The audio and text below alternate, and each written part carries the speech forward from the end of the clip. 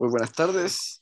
Eh, mi nombre es Felipe Morales y en la presentación de hoy hablaremos de la etipi- etipificación y tratamiento del cáncer de ovario.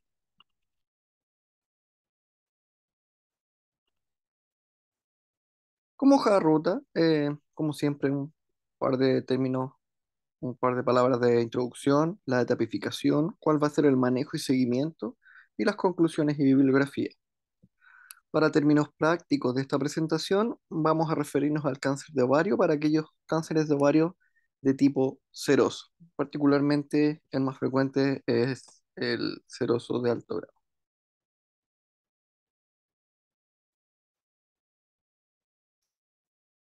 Como mencionábamos en la presentación anterior, la mayoría de los carcinomas epiteliales ováricos son diagnosticados en etapas avanzadas. 50% ya tienen metástasis y alrededor de un 22% presentan compromiso de ganglios linfáticos regionales. La histerectomía extrafacial total más anexectomía bilateral con disección de los ganglios linfáticos pélvicos y paraórticos es el procedimiento de estadificación estándar. Se debe realizar citología del líquido peritoneal y de la superficie del diafragma, así como omentectomía. La citorreducción, en ocasiones, también puede incluir la resección intestinal o hepática cuando estos se encuentran con metástasis evidentes. En la actualidad, se utiliza un único sistema para clasificar quirúrgicamente los carcinomas de ovario, trompas de falopio y carcinomas peritoneales. Esto es a través del sistema de clasificación de tumores, nódulos y metástasis, TNM de la octava edición del Comité Americano de Cáncer del 2017 y la Federación Internacional de Ginecología Obstetricia. Según diversos estudios, sabemos que hasta un tercio de las pacientes con aparente estadio 1 pueden tener ganglios pélvicos o paraórticos positivos, o sea, un estadio 2. Es por esto que rutinariamente se toman muestras de forma bilateral, incluso cuando la enfermedad parece estar confinada a un solo ovario. Se ha demostrado que el muestreo de ganglios linfáticos pélvicos y paraórticos se asoció a mejores resultados de supervivencia en comparación con las pacientes a las que no se les realizó disección ganglionar.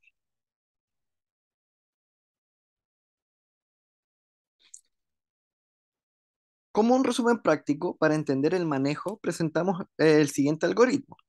Al inicio tendremos nuestro eh, escáner de tórax, abdomen y pelvis, y de esta manera orientaremos el manejo según el posible estadio de la enfermedad.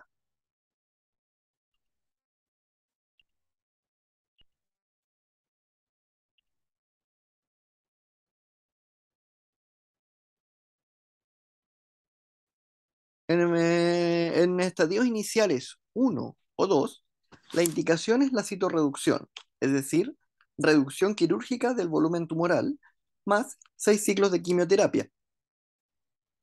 Una cirugía, una cirugía citorreductora óptica, óptima, perdón, aumenta la probabilidad de que la quimioterapia resulte en una mayor supervivencia libre de enfermedad a largo plazo. Por otro lado, si nos enfrentamos a un estadio avanzado, debemos preguntarnos si es quirúrgicamente resecable. Si es así, se intentará la citorreducción con los seis ciclos de quimioterapia. De no ser posible, se planteará realizar tres ciclos de quimioterapia adyuvante, previo diagnóstico histológico del tumor. Se controlará la paciente con un nuevo escáner y se evaluará la posibilidad de cirugía. Si es planteable, se sugiere citorreducción más tres ciclos de quimioterapia. Si no es planteable, la indicación es continuar con la quimioterapia y reevaluar, caso a caso.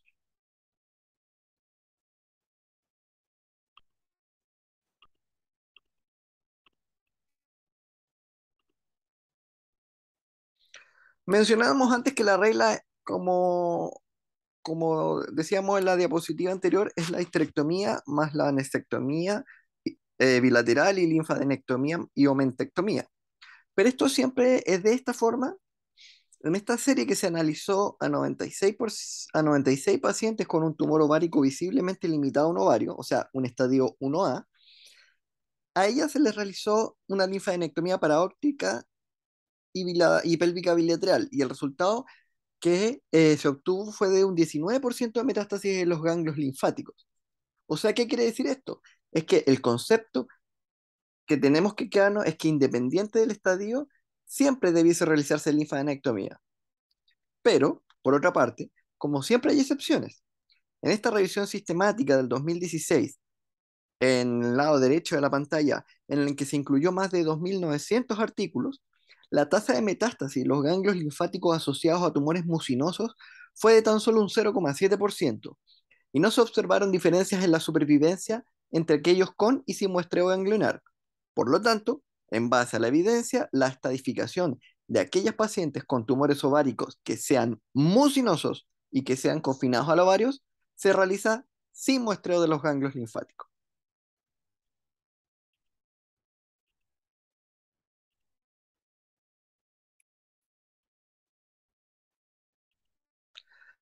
¿Qué pasa con el apéndice? Largo tiempo se ha discutido si es necesario realizar la extracción profiláctica del apéndice, del apéndice, sobre todo cuando estamos en presencia de un tumor de tipo mucinoso. Se ha llegado a acuerdo que siempre que el apéndice tenga un tumor visible en la laparotomía o durante la laparotomía, se debe realizar una apendicectomía.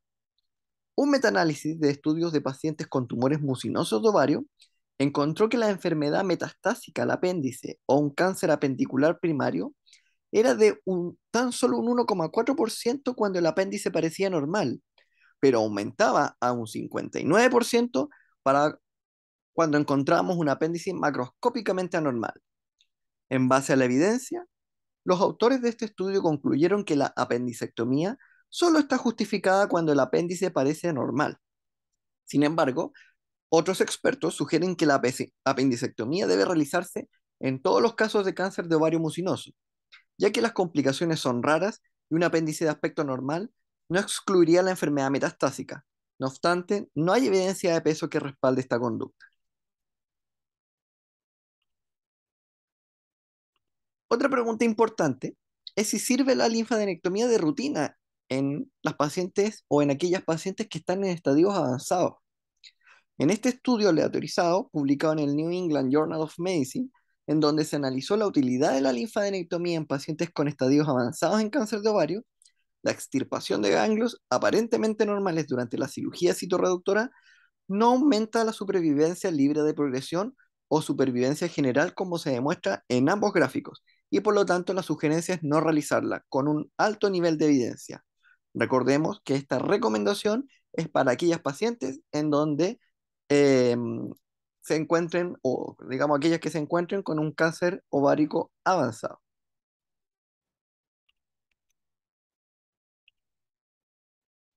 En general, el pronóstico para el cáncer de ovario 1A y 1B es tan bueno que la quimioterapia luego de la cirugía no proporciona beneficios adicionales y por lo tanto no está indicada.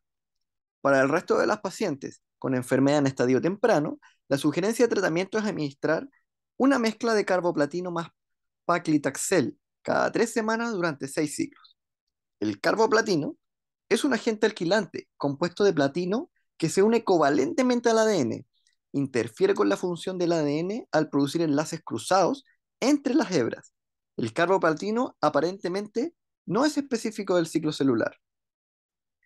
Por otra parte, el paclitaxel promueve el ensamblaje de microtúbulos al mejorar la acción de los dímeros de tubulina, estabiliza los microtúbulos existentes e inhibe su desensamblaje. De esta manera interfiere con la fase mitótica y, eh, e inhibe la replicación celular.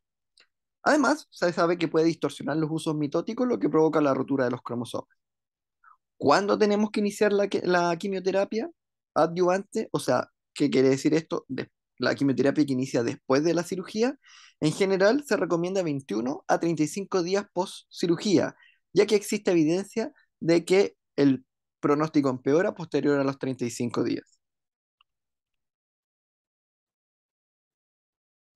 La importancia del uso conjunto de estos fármacos se demostró en este metaanálisis de 2006, que incluyó más de 15.000 mujeres con cáncer de ovario. Ni la monoterapia con platino ni el uso de platino asociado a otros fármacos que no eran taxanos fueron mejores que la combinación de platino más taxano en mejorar la supervivencia. Y es por eso que se indica esta pareja de medicamentos, ya que la evidencia demuestra que es la que tiene mejores resultados.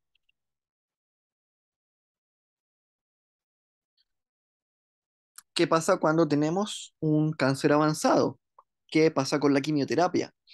La citorreducción quirúrgica primaria, seguida de quimioterapia sistémica, continúa siendo el tratamiento inicial preferido para las mujeres con cáncer de ovario en estadio 3 o 4, a los que clasificamos como cáncer avanzado. En general, el inicio de la quimioterapia es tan pronto como sea posible y generalmente inicia dentro de las 2 a 4 semanas post cirugía. Para aquellas mujeres con cáncer de ovario avanzado que no son candidatas para soportar una citorreducción quirúrgica inicial o, para aquellas con enfermedad extensa que impedirá la citorreducción óptima, es decir, que el, remanente eh, tumoral sea menor de un centímetro, eh, se sugiere la quimioterapia neoadyuvante. ¿Qué pacientes clasificamos como o catalogamos como que tienen una enfermedad irresecable? Aquellas con infiltración difusa o profunda del mesenterio del intestino delgado, aquellas con carcinomatosis difusa que involucra el estómago o grandes partes del intestino delgado o grueso, aquellas que infiltran el duodeno o partes del páncreas, aquellas con compromisos de grandes vasos, del ligamento hepatoduodenal, el tronco celíaco o detrás de la porta, aquellas que tengan afectación del parénquima hepático, las que tienen metástasis pulmonares o metástasis en ganglios linfáticos en axilas o mediastino. Este grupo de pacientes que describimos en este cuadro azul, en general no son candidatas a, una citorreducción primaria y eh, se podría plantear en estos casos eh, iniciar una terapia, eh, quimioterapia neoadyuvante.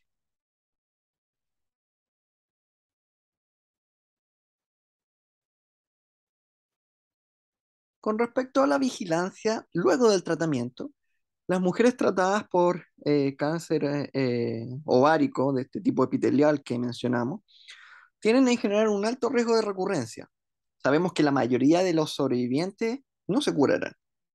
Los controles por este motivo deben incluir una historia y examen físico de manera rutinaria, evaluación del CAD-125 u otros marcadores tumorales si estos estaban elevados en la presentación inicial. Otras pruebas solo se solicitarán si están clínicamente indicadas, ya que, por ejemplo, las imágenes de rutina no cumplen ninguna función. Las técnicas estándar de imágenes como la ecografía, la tomografía computarizada o escáner, la resonancia magnética nuclear o la tomografía por emisión de, positrones, tienen una sensibilidad que es limitada para detectar una recurrencia en el cáncer eh, ovárico. Los controles deben realizarse cada dos a cuatro meses durante los dos primeros años, luego cada tres a seis meses durante tres años y posteriormente anualmente después de los cinco años.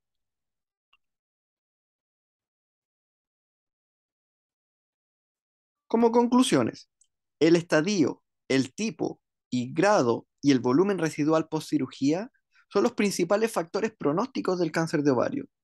La citorreducción quirúrgica primaria, seguida de quimioterapia sistémica, continúa siendo el tratamiento inicial preferido para las mujeres con cáncer de ovario y el alto riesgo de recurrencia hace que las mujeres tratadas deban permanecer en permanente control y seguimiento.